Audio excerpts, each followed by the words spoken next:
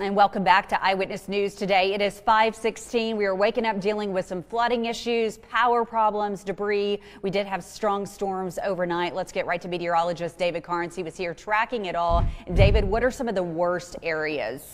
Uh, yeah, well, we've got to, uh, most likely we've had tornado damage from a number of different spots, and I'll rattle off the counties that, from which we've had reports of tornado damage. Chattooga County, Bradley County, Eastern Bradley County, Southern Walker County, uh, Hamilton County, and uh, uh, Maury County, also Murray County, some tornado damage being reported there. So I suspect that we will, uh, after the National Weather Service comes in, does some surveys, that we will see have seen at least tornadoes on the ground, just based on the radar data that we saw uh, during the last night and during the overnight. Now, what we're left with is after anywhere from one and a half all the way up to five inches of rain in parts of North Georgia, is a number of river flood warnings. So all of these flood warnings that you see are in response to creeks, streams overflowing their banks. We likely, as these creeks and streams rise through the day today, will see moderate flooding at least across much of the area. So please be really aware of that.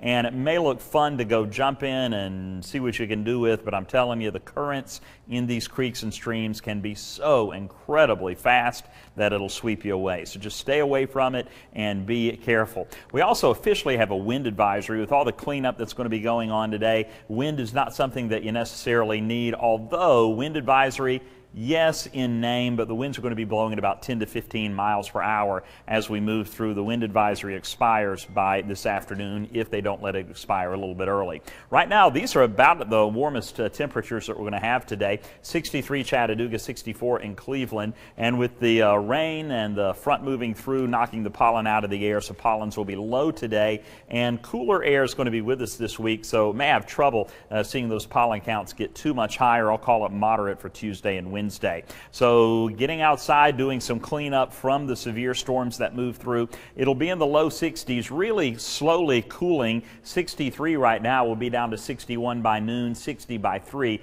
59 degrees by 6 p.m. So a cloudy, breezy start, cool and dry all week. Then we warm up and maybe a shower or two this weekend. Now we're looking at our radar imagery and that front still holding together fairly well. Now it's well east of our area, but look at all of those severe weather and tornado watches that are still in warnings rather that are still in effect along that line. Meanwhile, we're looking at rain moving through Nashville. I think all of that will stay away from us and won't bring us any additional rainfall. And Vipercast backs that up with partly cloudy cloudy skies and no more rain today. So getting after our Tuesday, it will be another good cleanup day for you as you're trying to uh, get things back to some semblance of normalcy on Tuesday. Wednesday, uh, Thursday, I don't think we'll, and Thursday, I don't think we'll see any rain at all. Uh, maybe a few clouds and that'll be it. Thursday, we will start to warm up a little bit. Now, it's going to be in the low to mid 60s today, tomorrow, Wednesday. Thursday, it'll climb into the upper 60s and then even into the low 70s by Friday. No rain in the forecast